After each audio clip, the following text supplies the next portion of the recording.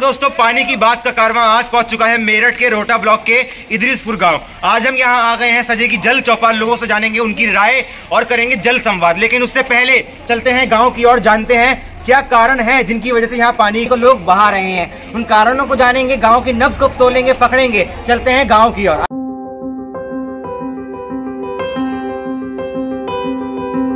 आधे सावन से बैठे तो दो बाल्टी भरती है चार उड़ती है। ये दो बाल्टी भरती है और और तो यूज़ होगा ही खूब- खूब तो आपने देखा कि एक कारण इदरीसपुर गाँव का और निकल के आया है कि दो चार बाल्टी भरती है दो बहाती है। यानी यहाँ की महिलाएँ शायद जागरूक नहीं है। उन्हें ही जागरूक करना पानी की बात का उद्देश्य है।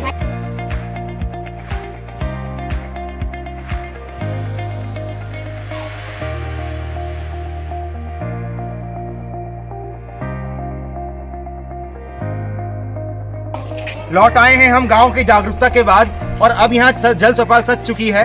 अब इदरीसपुर गाँव में होगी पानी की बात और लोगों से जानेंगे, लोगों को बताएँगे कि कैसे पानी को बचाना ज़रूरी है। जल संवाद होगा। टीम हमारे साथ मौजूद है। आशीष है, शेर खान है, शुभम है, प्रतीक कैमरे के पास है और आइए करते हैं हम पानी की बात। नमस्कार अंकल जी। कैसे हैं आप सभी? आज हमारी सोलहवीं जल चौपाल है। आपके गाँव में चौपाल लगती होगी, पंचायतें होती होंगी, लेकिन जल चौपाल पहली बार लग रही है। नाम से पता लग रहा है जल चौपाल। क्या है? पानी को लेकर चौपाल। आप बाहर से आए गर्मी से आए तो मम्मी से क्या बोलते हो? सबसे पहले, मम्मी, एक गिलास पानी दे दो। कहते हो ना? और मम्मी आपसे आप, अब मम्मी आपके सामने क्या कर दे? अब मम्मी आपके सामने गरम गरम दूध दिया तब क्या कहोगे ना, दूध ना, पानी लेके आओ। यानी जो काम पानी करता है, जो प्यास पानी में जाएगा, आपकी वो दूध, कोल्ड ड्रिंक, छाछ आदि नहीं कर सकती। हम लोग भी कपड़े धोते हैं, वहाँ पानी का इस्तेमाल है, सब्ज़ियाँ धुली, वहाँ पानी का इस्तेमाल है। खेतों में सिंचाई कर रहे हो? ट्यूबवेल से पानी आ रहा है? वहाँ पानी का इस्तेमाल है। कहाँ पानी का इस्तेमाल नहीं है? शौचालय गए, वहाँ पानी का इस्तेमाल है। गाँव के लोगों ने बताया कि समर सीवल, जो समर सीवर होता है, उससे ज़्यादा पानी बहाते हैं और चार बाल्टी भरते हैं और दो बाल्टी ऐसी बिखेर देते हैं। कितना दुखद है, कितना दुखद है कि वो पानी जो हमें अमूल्य है हमारे लिए हाँ पैसा नहीं देना पड़ रहा, इसलिए हम बाहर हैं। क्योंकि जब भी हम कोई काम खुले पाइप से करते हैं तो हमें ये नहीं पता हमने कितना पानी बहा दिया। लेकिन जब हम एक बाल्टी के अंदर पानी लेकर काम करेंगे तो हमें ये पता है कि हाँ हमने केवल एक बाल्टी पानी यहाँ इस्तेमाल किया। तो वहाँ पानी की बचत नागरिक हो यहाँ के इदरपुर गाँव के। तो अभी आपको ना हम एक नया नाम दे सब बच्चों को। आप सब बच्चों को आज हम एक नया नाम दे रहे हैं। आशीष क्या नाम है वो? जल में जल मित्र। जल क्या होता है? पानी। पानी। और मित्र यानी दोस्त। जल मित्र बनना है और आपके आसपास यदि कोई जोहर तालाब गंदा कर रहा है कूड़ा डाल रहा है, उसको रोकना है। बहते नलों को बंद करना है। गली में निकल के जा रहे हो, पता है कि किसी की टंकी भर गई है, मोटर चल रही है तो गेट खड़खड़ाओ उनको बोलो कि आंटी, मोटर बंद कर दो, आपको पानी भर गया। तो आपको क्या करना है, आप जल मित्र बन के पानी को बचाना है, पानी का दोस्त बनना तो इसमें आप लोग अपने आसपास लोगों को इस बात के लिए भी निवेदन करिए कि मिट्टी का सकोरा, मिट्टी के बर्तन के अंदर पानी रखिए आप लोग, चिड़ियों के लिए पानी रखिए। क्योंकि ये ये मौसम ऐसा है, जब चिड़िया ऊपर घूमती हैं और नीचे ढूंढती हैं पानी को।